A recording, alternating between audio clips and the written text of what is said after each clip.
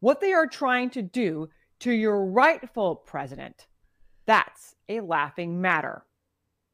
There will be no indictment of my son. Oopsies. Yeah. So looks like she just picked a whole bouquet of oopsie daisies, didn't she? What's interesting about this QAnoner that we're listening to right now, Julie Green, is the fact that she claims that what she's saying right now are words from God Himself. She's basically writing a new book of the Bible, the book of Green, verse 3, chapter 2, or whatever, that kind of thing, for real. And what was it she said in mid March 2023? What they are trying to do to your rightful president, i.e., Trump. That's a laughing matter. Okay. There will be no indictment of my son. Uh oh. I love it, dude. I love it when QAnoners stick their foot in their mouth and just keep picking those oopsie daisies. It's fantastic. Anyway, so like I said, this is QAnoner Julie Green, who believes that Trump is like a prophet of God. Okay. And, or, or I'm sorry, let me take a step back. She believes she's a prophet of God and Trump is a messiah. No joke. She believes that Trump is supposed to take political control and spark Armageddon and everything. For real. That's where her head's at. She's been saying even more psychotic stuff in recent months. So let me just take a step back, listen to what she had to say all the way back before he got indicted, and see what she's saying now. And we're going to compare the two. All right? Remember, everything that she says, everything you hear from her today going to be a message from God Himself. Okay? All right, listen, check this out. I told you, my children, don't worry about the things that you see, because the things that you see are temporary. What they are trying to do to your rightful president, that's a laughing matter. Dude, I, I am way too entertained by her failure at this stuff. It's just fantastic. There will be no indictment of my son not the way they wanted it to go. Oh, no, no, no. The indictments? Oh, yes, there will be indictments, I promise you. But it will be indictments for those one the ones, excuse me, for the ones. Notice she went back and she corrected herself. The reason she did that, even though we knew what she meant, she stepped back and corrected herself anyways so that we had complete clarity because these are words from God in her mind. And she's writing a new book of the Bible, effectively. She wants to make sure there is complete and total 100% clarity on what she's saying because she fancies herself a new Moses or a new Matthew or a new John the Revelator or whatever. No, I'm dead serious, okay? Oh, and she's a QAnoner, of course. Dude, I eat this up. I just love this. This is fantastic, isn't it? Quick interjection. I won't take long. I just wanted to tell you guys YouTube's algorithm operates off of a few factors watch time, whether or not you subscribe, and whether or not you like something. So if you really want to help my channel, I would appreciate it if you guys watch the video to the end. If you don't watch it to the end, just watch a little bit longer than you would have otherwise. I would appreciate that very much. All right, let's get back to the video. Oh, yes. There will be indictments, I promise you. But it will be indictments for those one the ones, excuse me, for the ones who are trying to make this indictment. Because Okay, so she's saying the people who are trying to indict Trump are the ones that are actually going to be indicted and Donald Trump will not be indicted. This is the prophecy that she got from God, okay? To make this indictment because this is a time of seed time and harvest. And I told you before, many, many times, in many other words, I have given to you. They are reaping a harvest. They have no idea what's coming. So when she says this is a time of seed time and harvest or whatever, what she's saying is this is the end. This is you know, we're at the end and people are going to reap what they've sown pretty soon. Like Armageddon is coming any five minutes, is what you're saying. Now, they've been saying this for thousands of years at this point, these, you know, religious nutter butters of epic proportions. But you know, as they get more fanatical around Donald Trump, they get more urgent and believe that he is going to bring about the end. It's just crazy, dude. I am an end to their plans because I am the great I am. Right. So she's once again pretending to speak with God's voice and quoting from an Old Testament verse. Okay, fantastic. Okay, so that was what she said before Trump was indicted when there were rumblings that he'd be indicted. That was uh, in mid March 2023, before the first indictment, which was by Alvin Bragg in New York for falsifying business records over the hush money payments to Stormy Daniels, so on and so forth, right? And then Trump was indicted four times. Fantastic. Love everything about it. Okay, so check this out. Mid August 2023, he's been indicted four times so far, I think. Are we up to four, five, six? I have no clue what we're up to now. He's been indicted a billion times. And Julie Green is now going to, what, amend what she said? Or I don't know. Is this new prophecy she's giving us? I guess it's just new prophecy. Okay, check this out. Mid August 2023. Another whistleblower will come forward with proof on how Nancy Pelosi and the establishment set up January 6th. Dude, why are we still talking about Nancy Pelosi? Isn't she out of office now? And why are we still talking about how January 6th was a setup? No, it wasn't, okay? January 6th was very obviously an insurrection attempt by Donald Trump's most ardent supporters. And they've, you know, I- am talking the Oath Keepers, the leader of the Oath Keepers, Stewart Rhodes, and the leader of the Proud Boys at the time is Enrique Tarrio. He could not be in D.C. at that moment, but his second in command stood in for him and acted as battlefield generals, both of those two, Stewart Rhodes and uh, what was his name? Biggs, something Biggs. Joe Biggs. Yeah, he's a a Proud Boy lieutenant, and his name was Joe Biggs. So, anyways, he was just sentenced to uh, 15 years, 17 years, some crazy thing like that. They were acting as battlefield generals for an insurrection attempt that was orchestrated or that was arranged by Roger Stone, uh, working directly with Roger Stone, who was arranging it on Donald Trump's behalf. So, uh, Janu- I mean, they even had like caches of weapons, like placed around the area. They had buried weapons caches so they could, once they got a hostage, which is what they were aiming for, they could grab these weapons caches and go in and, you know, force what they wanted to happen to happen, which is to keep Donald Trump in power and turn the U.S. into a dictatorship. That was the idea. You remember that video of that woman, Ashli Babbitt, attempting to climb through the window to get Mike Pence, and that guy had to pull the trigger? That was their attempt to take Pence as a hostage. I am not joking. So, I, you know, I just want to drill this in real clearly. Donald Trump, the Proud Boys, the Oath Keepers, the far right, they were responsible for January 6th. God, if, he, you know, Julie Green had his ear, which she doesn't, but if she did, God would tell her that because that's the fact of the matter. I'm sorry. That's just what it is. And apparently, God doesn't lie. So, according to the Bible. Another whistleblower will come forward with proof on how Nancy Pelosi and the establishment set up January 6th to impeach Trump and to completely remove him from any chances to run again.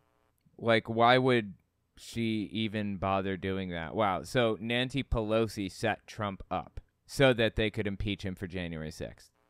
A computer is about to surface to show the plot to take down the president, to blame him for what they had caused that day. A computer's about to surface. Wait a minute. Okay, let's just wait. One more time. One more time.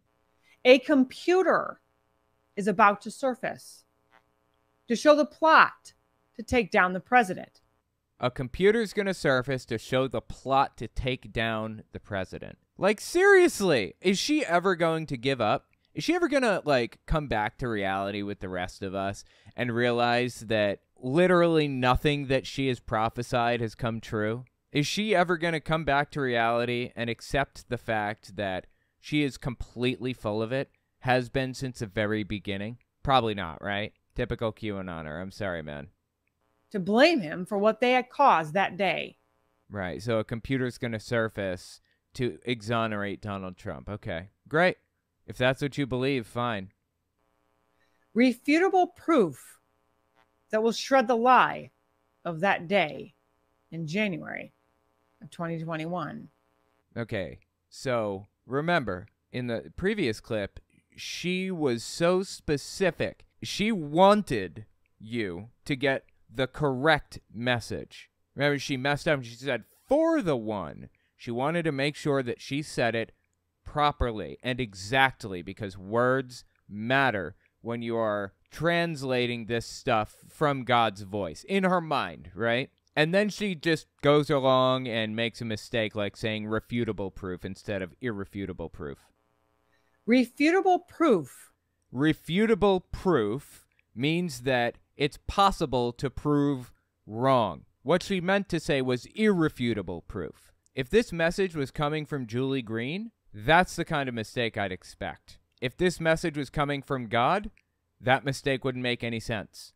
Little mistakes like that should prove to you she doesn't have God's ear, or God doesn't have her ear, or whatever the hell. Somebody's ear is in somebody's mouth. I don't know exactly whose is in whose, but the point is, she's not talking to God, and vice versa. It's not happening. I know it feels like I don't have to prove this. I, it feels like this is obvious, but it's not obvious to everybody. She's got a massive following. She gets more views than I do on my main channel frequently. She's got hundreds of thousands of regular viewers. Over the course of a month, she gets millions of unique views. It's like there's this undercurrent of Trump support. These are like the supposed prophets that work underneath the barrier, like where nobody's really paying attention except for other Trump supporters, but all the other Trump supporters are watching it. You know, that's why I talk about this woman and others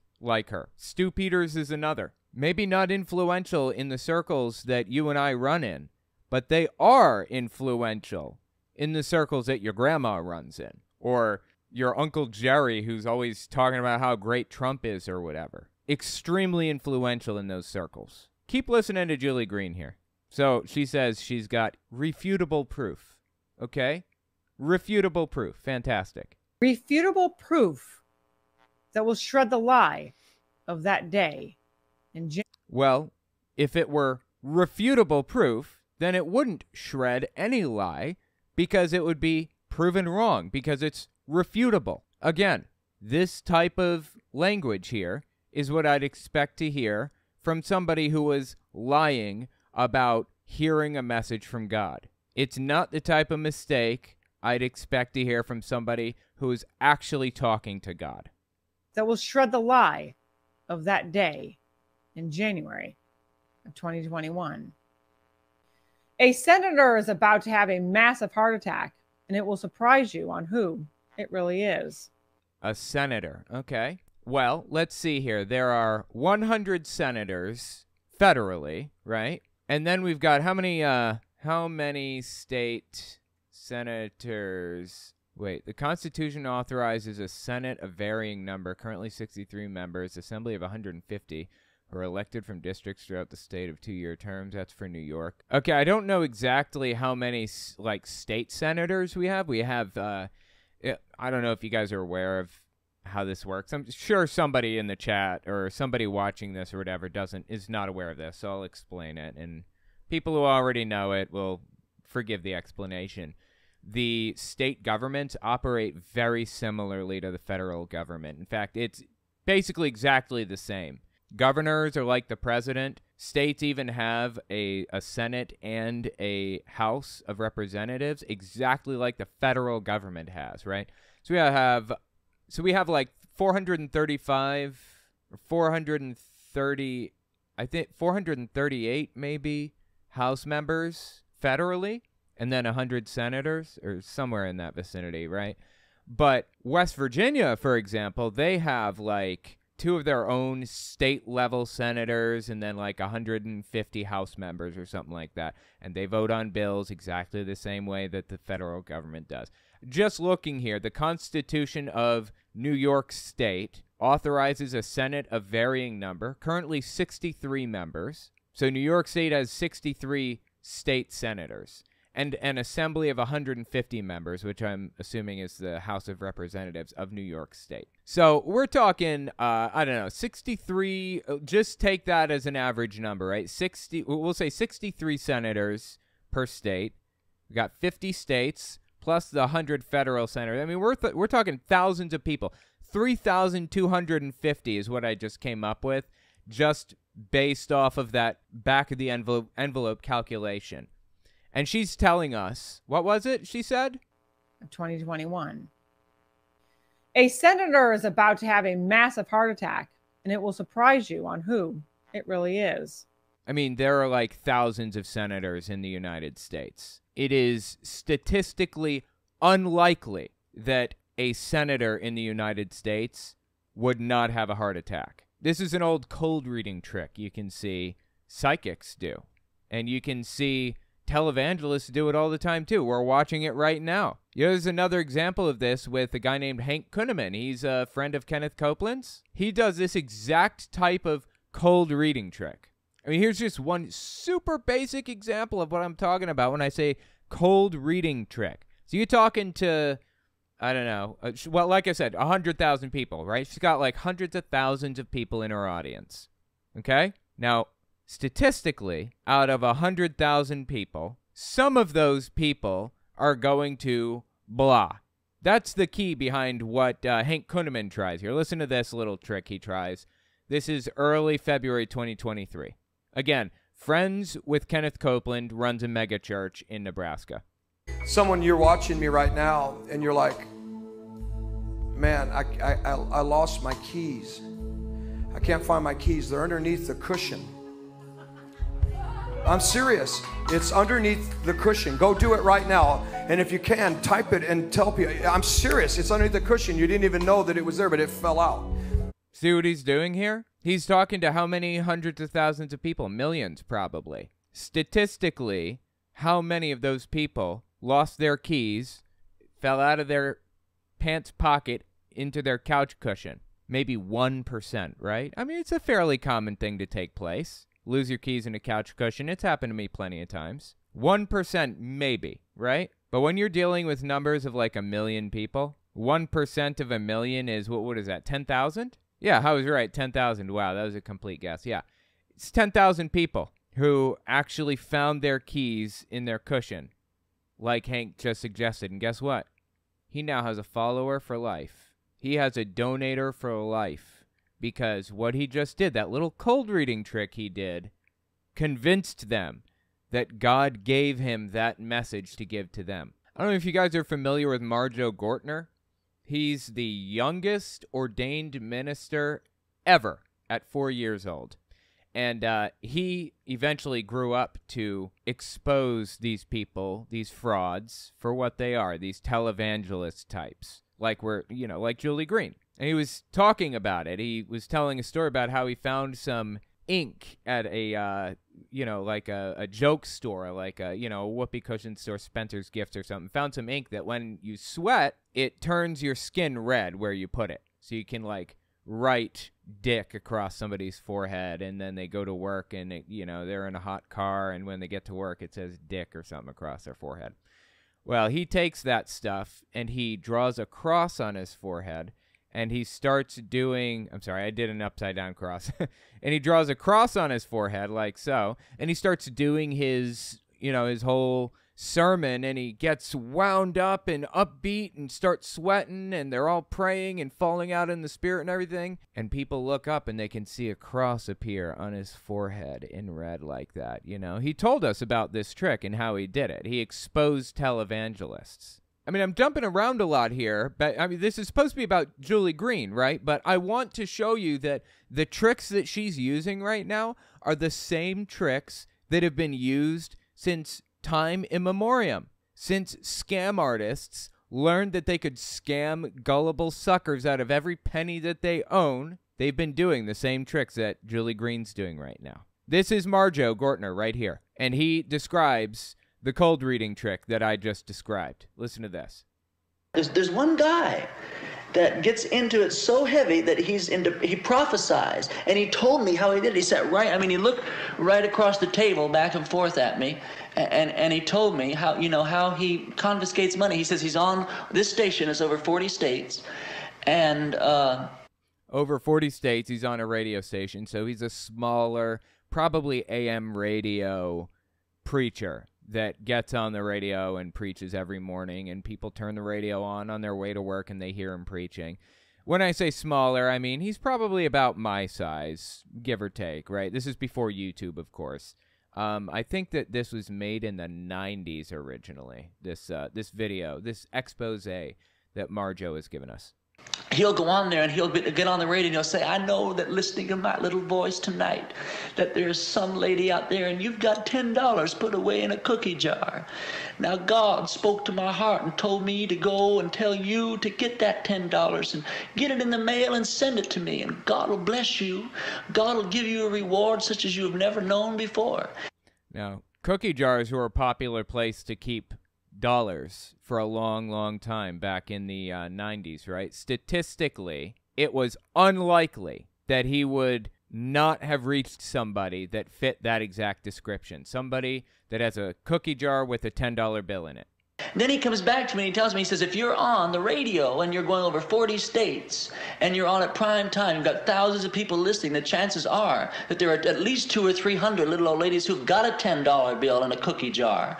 And so if you even get, you know, if a couple hundred go over and get it and send it to you, that's two grand that you've made just like that. And in addition to getting $2,000 just like that, you've got a believer for the rest of their lives. A believer and a donator. It's the exact same cold reading trick that Julie Green is running right now. It's got a little bit of a modification to it, but effectively, it's the exact same thing. A senator is about to have a massive heart attack, and it will surprise you on who it really is. She's giving us a list of prophecies from God right now, like horoscopes, apparently. Another indictment against my David will be announced. My David is Donald Trump. They believe that he's like David from the Old Testament. You know, King David, like somebody really, really special. He they believe him to be a Messiah. When I say they, I mean Julie Green and other QAnon nutcases like that. Another indictment against my David will be announced, but yet another one will fail. Another will be announced. Wow, that's different. I seem to remember. Let's see. What was it she said back in March? What they are trying to do to your rightful president. That's a laughing matter. There will be no indictment of my son. Uh oh. And what did she just say in August 2023? Another indictment against my David will be announced, but yet another one will fail. Oopsie daisies. There we go. Once again, like it's another example of failed prophecy after failed prophecy after failed prophecy. How does anybody believe her? This woman is not a nobody. She is a leader in the Trumpist pastor undercurrent that exists under the mainstream. You know, you got big famous pastors like Kenneth Copeland who have come out in support of Donald Trump. But he doesn't say a whole lot about Trump nowadays. He used to talk about Trump all the time, and every now and then he does. He says something positive about him. But you've got this undercurrent of pastors who believe in all the same stuff, who believe that they're prophets and that Trump is a messiah and that they are prophesying about Donald Trump, their God emperor, and the message is coming from God himself. Seriously. It's insane. None of these attempts to stop him or this election will prosper, and they will not succeed. Okay, we'll see. I'm guarantee this is going to be another failed prophecy. Mitch McConnell, McConnell is about to be exposed in a major way. Oh yeah, and she hates RINOs, quote unquote. You know, Republican in name only, now just used as a pejorative for anybody that's a Republican but doesn't support Donald Trump. That's what that means. She hates Mitch McConnell and anybody that Trump calls a RINO and anyone who challenges Trump at all, honestly. She deeply, truly, to the bottom of her heart, believes that Trump is the Messiah. And if you are going against Trump in, any way, to any degree, which includes challenging him in the primaries, you're going against God Himself. I mean, she's got like a billion of these failed prophecies. To tell you the truth, I have no clue how she has any followers left at all after all of these failed prophecies. It's failure after failure after failure. But she's still got a massive following hundreds of thousands of people, millions even, millions of unique listeners every month come to her to get their information about God and Trump and all this other stuff. And all of the news that they get comes from her. This one's from late October 2022, leading up to the midterm elections. Okay. Raphael Warnock is a senator in Georgia, and he was being challenged by Herschel Walker. Now, Herschel Walker was a bad candidate, straight up. He very obviously had brain damage from the time he spent playing football. It was obvious to everybody. He said the wackiest stuff. And I have tons of videos on it if you want to see it. But you know what Julie Green prophesied all the way back then? I mean, I, I want to go back and look at some of the old ones right now. We are over a year past this now. Listen to this failed prophecy from this woman from like a year ago. My children, many warnings I have given to you, but there is coming a day that it will be too late. So listen to these words and listen to my prophets. And dare to believe me more than your enemies. She's crying now. More than religion. More than the news stations. Dare to believe me more than the news stations. More than the governments. More than your doctors. More than your bank accounts. Believe me more than your bank account. So your bank account is telling you you have a zero balance, but Julie Green here is telling you that God is telling her that you actually have $10,000 in there. And you should dare to believe God rather than the bank account. What? Than your bank accounts. Dare to believe me more than what you see and what you hear. Herschel Walker will be in the news, and victory will be with his name. Uh, just picking those oopsie daisies, right? Just picked a whole bouquet once again. She keeps picking these puppies. She loves these oopsie daisies, doesn't she? I do too. I gotta be honest. I love watching her trip and fall flat on her face. It is so enjoyable to watch her fail miserably at prophecy, to prove herself to be a false prophet. Believe it or not, she prophesied even more. Check this out. Early August 2023. This is a newer one once again. I'm just showing you examples of her giving false prophecies and falling flat on her face and giving us new prophecies. I want to get this on record so that we can call her out when she fails again in the future, inevitably. Listen to this one. And this is in bold. The fall of the Biden is about to be seen, and the rise of my trumpet is about to be heard. Okay. Uh, the fall of the Biden will be seen, and the rise of my trumpet will be heard. And it's in bold. God told her to write it in bold. Apparently, God instructed her to use Microsoft Word and hit, you know, Control B before typing this one. I don't even know. Yeah, that is exciting. I so enjoyed hearing that sentence. Uh, Again, she is claiming to hear this from God. I so enjoyed hearing that sentence, is what she said. Get help, Julie, for real. So enjoyed hearing that sentence. All right, sentences, I should say. A conclusion is about to be seen. A conclusion of this whole mess. I told you, my children, it's all. Uh, it wouldn't last forever. A sign of liberty is going to be in the news. Negotiations is going to be in the news. Someone from the party of the red is about to be exposed. They were a wolf in sheep's clothing, a liar, a deceiver, and someone you didn't expect at all. So, someone who we really thought was on our side, someone we really thought was for standing up for truth, is really not, and they are going to be exposed. So basically, what she's saying is during the course of this election season, the 2024 election season, some person who is on the Republican side is going to turn against Donald Trump, their God Emperor. Uh, That's what they call him. I'm, I'm not using that flippantly. They call him GEOTUS, really. The QAnoners do. Uh, the people on the forums like uh, Patriots.win and some of these other extremist forums you know, 4chan, 8chan, uh, Julie Green, Telegrams, and all that other stuff. They call him GEOTUS, for real. So what she's doing here is another perfect example of what Marjoe Gortner described earlier, right? I know there's a little old lady out there who's listening right now, has a $10 bill in a cookie jar.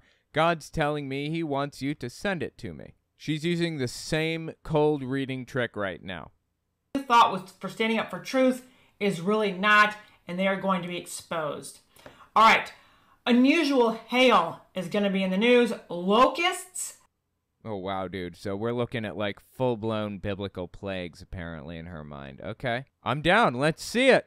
I will believe it when I see it because you know what? You know what I've learned over the years that I have spent covering Julie Green? I've learned that basically everything she says is a lie. You know what the Bible says about people like that, right? Deuteronomy 18:22. I mean, I'm not going to read the whole thing, but it basically says this is an extremely relevant verse for ex Jehovah's Witnesses because it's what frees a lot of them up to realize that the governing body members are full of it. They were full of it from the beginning. They're false prophets and they don't need to be feared anymore. You may say to yourselves, How can we know when a message has not been spoken by the Lord? If what a prophet proclaims in the name of the Lord does not take place or come true, that is a message the Lord has not spoken. That prophet has spoken presumptuously, so do not be alarmed. Quote unquote. I'm comfortable saying that Julie Green is very clearly a false prophet, right? I don't know how else to interpret this situation, what she said. I just I I just don't know how she continues to get viewers and listeners and watchers. 200,000 followers on Rumble. Let's check her Telegram. How many Telegram subbies she got? I have a Telegram exclusively for following nutcases like Julie Green and the Praying Medic and QAnon nutter butters of all sorts. Let's see here. Julie Green. Yeah, she's got 72,000, 73,000 followers on Telegram. She's got 200,000 followers on uh, Rumble. Like I said, these people are the undercurrent that runs the Trump movement, that is the Trump movement. And she claims to be a prophet of God. Insane. Let me know what you think about it in the comments. I'm honestly deeply entertained every time she falls on her face. But uh, yeah, tell me what you think.